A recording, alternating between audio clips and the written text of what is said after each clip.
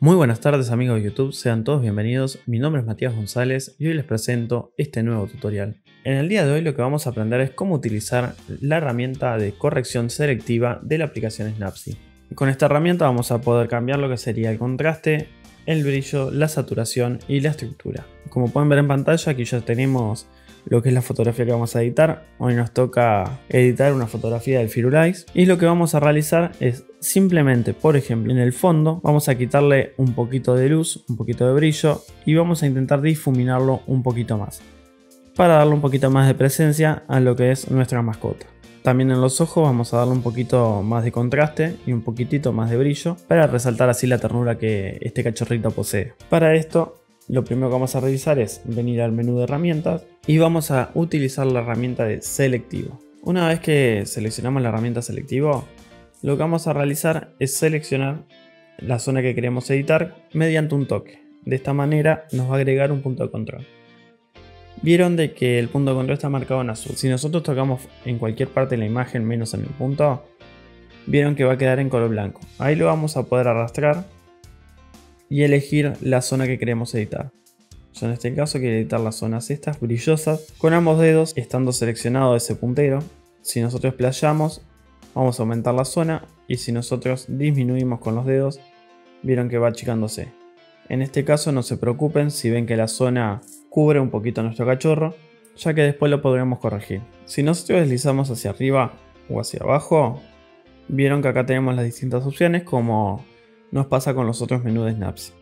Tenemos brillo, contraste, saturación y estructura. En este caso el brillo yo no lo voy a tocar, el contraste sí, lo voy a pasar un poquito negativo, corriendo hacia la izquierda, pero simplemente un poco. La saturación también la voy a correr apenas. Y la estructura sí la vamos a modificar porque quiero que el fondo quede lo más difuminado posible sin irnos al extremo, obviamente. Ahora lo que vamos a realizar es darle un toquecito a este puntero y vamos a seleccionar la opción de copiar. Ahora nosotros lo que tenemos que hacer es dar un toque en la imagen para deseleccionar el puntero y volver a dar otro toque en el lugar que queramos pegar ese punto de control. De esta manera tendremos exactamente los mismos ajustes en ambos lados. Lo único que resta es seleccionar la zona que queremos abarcar. Vamos a hacer lo mismo de este lado para que quede más parejo. Ahora lo que vamos a hacer es confirmar lo que serían los cambios. Vamos a venir a la barra de capas, ver cambios y vieron que acá tenemos la opción de selectivo. Lo vamos a seleccionar, vamos a elegir la opción de editar, que es la del medio. Vamos a tocar el primer icono de aquí para invertir. Y acá vieron que está en cero selectivo. Bueno, vamos a dejarlo ahí. Para poder ampliar y de esta manera limpiar lo que sería nuestro cachorro y que nada de lo que hicimos afecte al cachorro en sí y sino que afecte únicamente al área que teníamos seleccionada. Ahora vamos a dejarlo en 100% y vamos a afinar los detalles.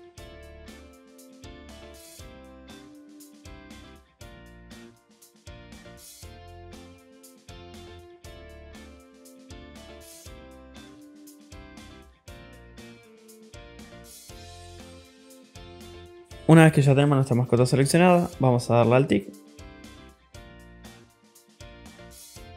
Y si nosotros seleccionamos la capa de original, vieron que vamos a poder ver brevemente lo que es el cambio que hicimos.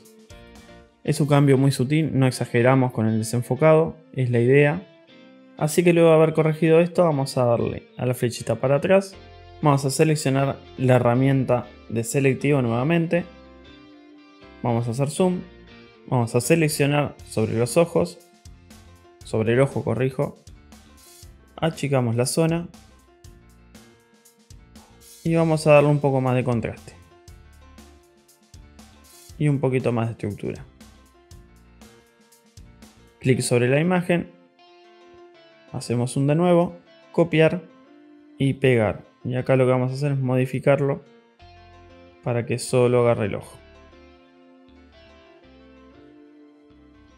Le damos al tick y ya con esto estaría. Si nosotros dejamos apretado sobre la imagen podemos ver el antes y el después. Son cambios muy sutiles que hemos realizado, pero de esta manera estamos realzando un poquito la fotografía. Cabe destacar de que durante todo el tutorial he mencionado que fueron cambios muy sutiles, pero ustedes en sus fotografías pueden realizar cambios mucho más bruscos, entre comillas la palabra bruscos, si es que así lo necesitan en sus proyectos, en sus trabajos, sus fotografías. Un ejemplo claro que les voy a dar acá para que puedan verlo. Vamos a ampliar, agregamos acá y vamos a bajar el brillo.